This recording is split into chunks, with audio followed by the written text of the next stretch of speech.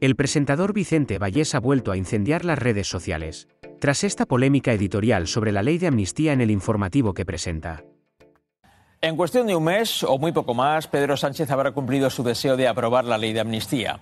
El objetivo de sus promotores es que entre en vigor de inmediato y que aquellos que cometieron delitos de diferente tipo, relacionados todos con el proceso independentista, queden libres de cualquier responsabilidad como si nada hubiera ocurrido en aquellos días de permanente desafío al Estado de Derecho y a la Constitución.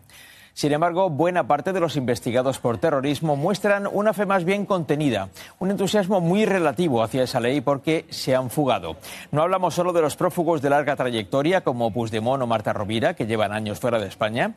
Hablamos también de otros dirigentes del independentismo que se marcharon hace pocos meses, pocas semanas e incluso pocos días. Son hasta 8 de 12 y están siendo investigados por terrorismo en el Tribunal Supremo o en la Audiencia Nacional por el conocido como caso del Tsunami Democratic.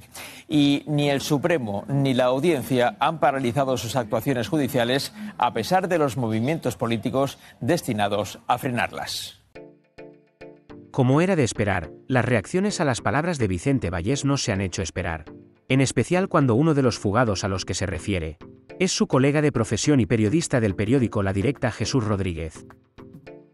Entre las reacciones más virales, las redes han querido retratar a Vicente Vallés.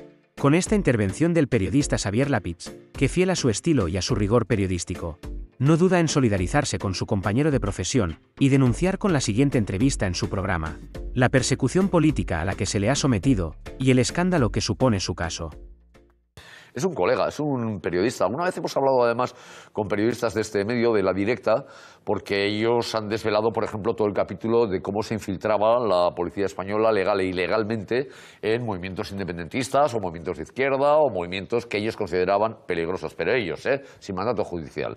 Voy a saludar a Jesús Rodríguez, es uno de esos periodistas, nos atiende desde Ginebra, desde el exilio. Eh, Jesús, hola, ¿qué tal? Bienvenido a, a En Jaque. A ver, ¿por qué decidiste marcharte y qué pasó? Bueno, decidí marcharme porque la, situación se estaba haciendo insostenible. Durante algunos meses, eh, digamos que mm, estuve preparando este posible escenario, eh, trasladándome a, Ginebra y viendo cómo tendría que ser eh, pues un, hipotético exilio. pero los, pasos que ha dado el juez últimamente, ordenando a la Guardia Civil mi localización para mi posterior citación a declarar eh, bajo la acusación del delito de terrorismo en la Audiencia Nacional, pues es lo que mm, finalmente me ha llevado a tomar la decisión de, consolidar mi, estancia en Ginebra en situación de, exiliado. Eh, Jesús, claro, tú en realidad ya estabas siendo señalado previamente por la Guardia Civil, tanto que creo que quisiste personarte para interesarse por el, interesarte por el caso, ¿no? Exacto. Sí, yo en el mes de, en el mes de abril eh, veo, aparece una información en el, periódico El Mundo donde, citando a fuentes de la Guardia Civil, se dice en esta información eh, pues que una de las personas investigadas soy yo eh, porque tenía información previa de los acontecimientos que se iban a, desarrollar en Cataluña durante el mes de octubre del año 2019 como respuesta a la sentencia del procés. Eh, esta información que aparece en el mundo eh, a través de mi abogado, yo la comunico, ¿no? la envío este, este documento eh, periodístico a la Audiencia Nacional, al juzgado de instrucción número 6, y me pongo a disposición de, este juzgado, de Manuel García Castellón, para que, mm, si lo considera, pues me cite a declarar y me dé información sobre si es verdad o no es verdad esto que se ha publicado. Tengo una respuesta por escrito eh, del juez, de Manuel García Castellón, donde me dice eh, que esto es una información periodística, pero que esto no eh, consta en la causa, que yo no estoy siendo investigado y, por tanto, le dice a mi abogado que, que, no se puede personar en la causa como, como, investigado porque esto, no, esto en ese momento procesal no era así. es sorprendente porque Posteriormente a, ese hecho no se incorpora nada en la causa nuevo, no hay ninguna nueva actuación de la Guardia Civil de ningún tipo, ni de elementos probatorios, ni de ningún tipo de, prueba judicial. Eh, ya se había levantado el secreto de sumario y desde entonces hasta el mes de noviembre eh, las dos únicas novedades que hay es las elecciones del mes de julio y, el proceso de tramitación de, la ley de amnistía en Cataluña. Eh, Jesús, ahora, ahora, ahora supongo que tu situación eh, va a depender mucho de la aplicación de esta ley de amnistía para decidir volver, ¿no? Sí, exacto. yo, tomo la decisión de, de, irme de Cataluña precisamente porque me doy cuenta eh, que esto no es una causa judicial ordinaria donde yo pueda ejercer mi derecho a la defensa.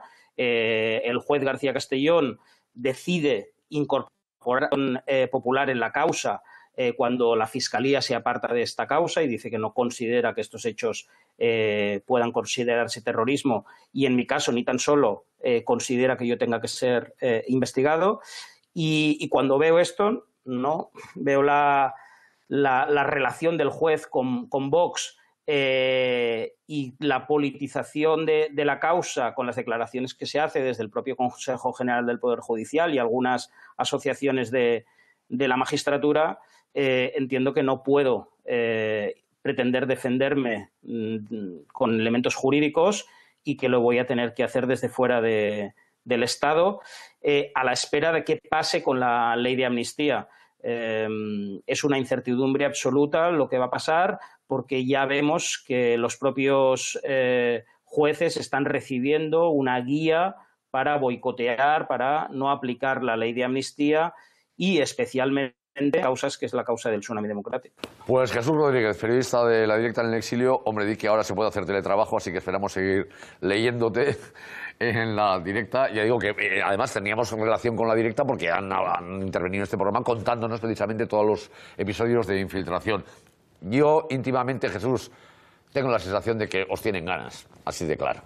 Eh, entre otras cosas, por este tipo de, informaciones. Porque lo otro, ver terrorismo por ahí pululando, pues es una cosa un poco rara.